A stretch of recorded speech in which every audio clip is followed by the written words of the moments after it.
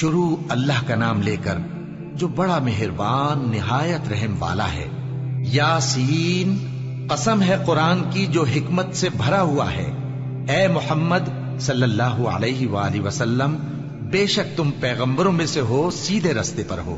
یہ قرآن غالب و مہربان کا نازل کیا ہوا ہے، تاکہ تم ان لوگوں کو جن کے باپ دادا کو خبردار نہیں کیا گیا تھا، خبردار کر دو کہ وہ غفلت میں پڑے ہوئے ہیں۔ ان میں سے اکثر پر اللہ کی بات پوری ہو چکی ہے، سو وہ ایمان نہیں لائیں گے۔ ہم نے ان کی گردنوں میں توق ڈال رکھے ہیں اور وہ ٹھوڑیوں تک پھنسے ہوئے ہیں۔ تو ان کی گردنیں اکڑی ہوئی ہیں اور ہم نے ان کے آگے بھی دیوار بنا دی اور ان کے پیچھے بھی۔ پھر ان پر پردہ ڈال دیا، تو یہ دیکھ نہیں سکتے۔ اور تم ان کو خبردار کرو یا نہ کرو، ان کے لیے برابر ہے۔ یہ ایمان نہیں لائیں گے۔ تم تو صرف اس شخص کو خبردار کر سکتے ہو جو اس نصیحت یعنی قرآن کی پیروی کرے اور رحمان سے غائبانہ ڈرے۔ سو اس کو مغفرت اور بڑے ثواب کی بشارت سنا دو۔ بے شک ہم مردوں کو زندہ کریں گے اور جو کچھ وہ آگے بھیج چکے اور جو ان کے نشان پیچھے رہ گئے، ہم ان کو قلم بند کر لیتے ہیں اور ہر چیز کو ہم نے کتاب روشن یعنی لوح محفوظ میں لکھ رکھا ہے۔ اور ان سے گاؤں والوں کا قصہ بیان کرو جب ان کے پاس پیغمبر آئے۔ یعنی جب ہم نے ان کی طرف دو پیغمبر بھیجے تو انہوں نے ان کو جھٹلایا۔ پھر ہم نے تیسرے سے تقویت دی۔ تو انہوں نے کہا کہ ہم تمہاری طرف پیغمبر ہو کر آئے ہیں۔ وہ بولے کہ تم اور کچھ نہیں، مگر ہماری طرح کے آدمی ہو۔ اور رحمان نے کوئی چیز بھی نازل نہیں کی۔ تم محض جھوٹ بولتے ہو۔ انہوں نے کہا کہ ہمارا پروردگار جانتا ہے کہ ہم تمہاری طرف پیغام دے کر بھیجے گئے ہیں۔ اور ہمارے ذمے تو صاف صاف پیغام پہنچا دینا ہے اور بس۔ وہ بولے کہ ہم تم کو اپنے لیے منحوس سمجھتے ہیں۔ اگر تم باز نہ آؤ گے تو ہم تمہیں سنسار کر دیں گے اور تم کو ہم سے دکھ دینے والا عذاب پہنچے گا۔ انہوں نے کہا کہ تمہاری نحوست تمہارے ساتھ ہے۔ کیا اس لیے کہ تم کو نصیحت کی گئی؟ نہیں، بلکہ تم ایسے لوگ ہو جو حد سے تجاوز کر گئے ہو۔ اور شہر کے پرلے کنارے سے ایک آدمی دوڑتا ہوا آیا۔ کہنے لگا کہ اے میری قوم، پیغمبروں کے پیچھے چلو۔ ایسوں کے جو تم سے سلا نہیں مانگتے اور وہ سیدھے رستے پر ہیں۔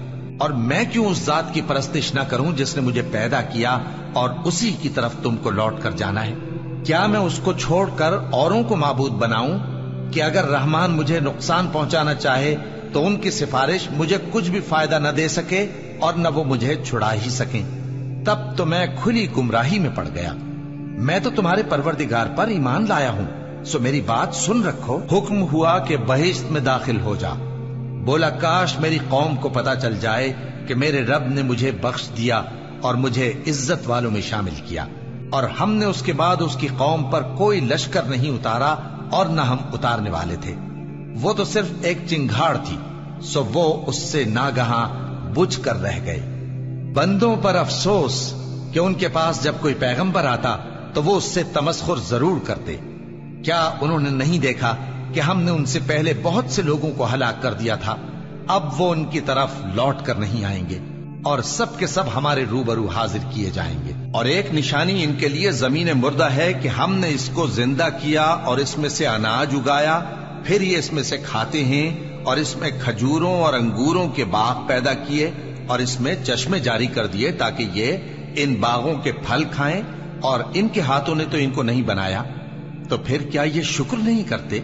وہ ذات پاک ہے جس نے زمین کی نباتات کے اور خود ان کے اور جن چیزوں کی ان کو خبر نہیں، سب کے جوڑے بنائے۔ اور ایک نشانی ان کے لیے رات ہے کہ اس پر سے ہم دن کو کھینچ لیتے ہیں، تو اسی وقت ان پر اندھیرا چھا جاتا ہے۔ اور سورج اپنے مقرر رستے پر چلتا رہتا ہے۔ یہ اس غالب و دانا کا مقرر کیا ہوا اندازہ ہے۔ اور چاند کی بھی ہم نے منزلیں مقرر کر دی یہاں تک کہ گھٹتے گھٹتے کھجور کی پرانی شاخ کی طرح ہو جاتا ہے۔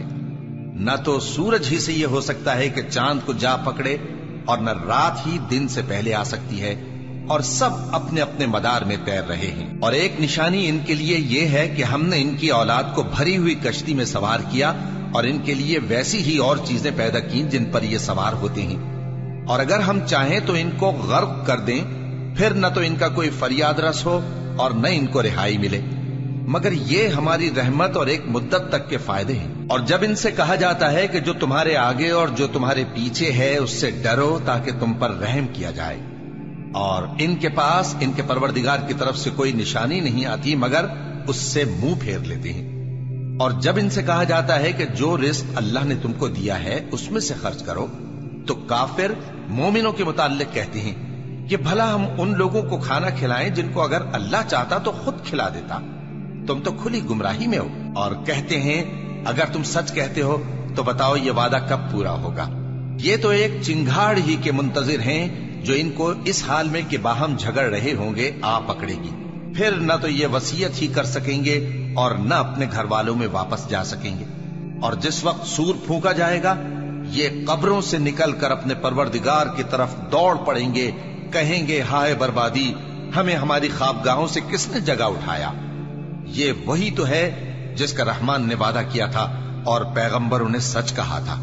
وہ تو صرف ایک زور کی آواز ہوگی کہ سب کے سب ہمارے روبرو آ حاضر ہوں گے۔ پھر اس روز کسی شخص پر کچھ بھی ظلم نہیں کیا جائے گا اور تم کو بدلہ ویسا ہی ملے گا جیسے تم کام کرتے تھے۔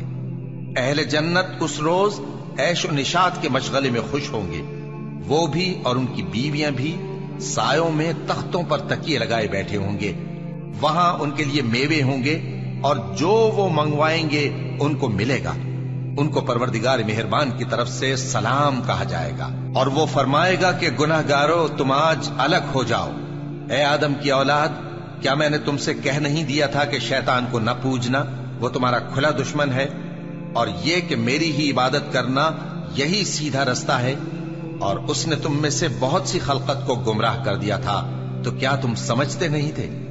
یہی وہ جہنم ہے جس کے تمہیں دھمکی دی جاتی تھی۔ جو تم کفر کرتے رہے ہو، اس کے بدلے آج اس میں داخل ہو جاؤ۔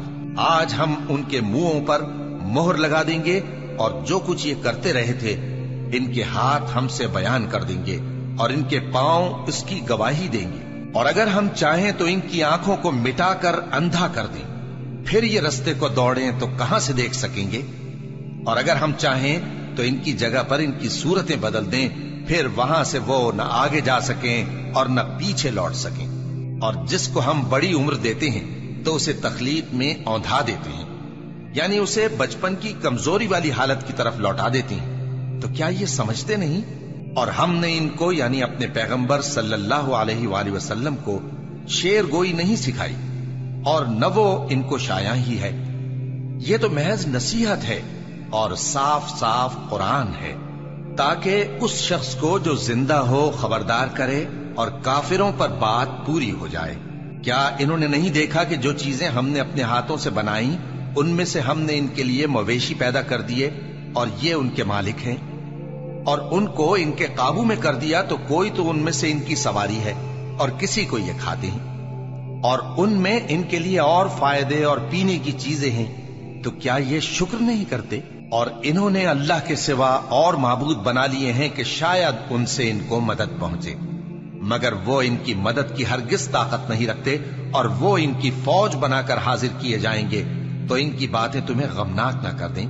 یہ جو کچھ چھپاتے اور جو کچھ ظاہر کرتے ہیں، ہمیں سب معلوم ہے۔ کیا انسان نے نہیں دیکھا کہ ہم نے اس کو نطفے سے پیدا کیا؟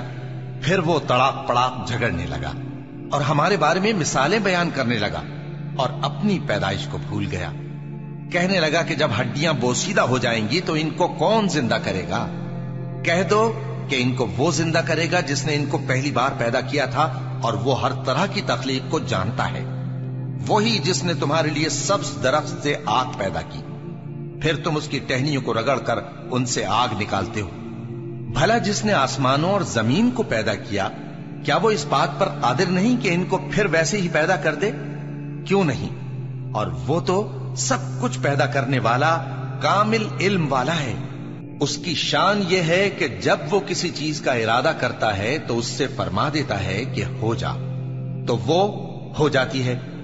وہ ذات پاک ہے جس کے ہاتھ میں ہر چیز کی حکومت ہے اور اسی کی طرف تم کو لوٹ کر جانا ہے۔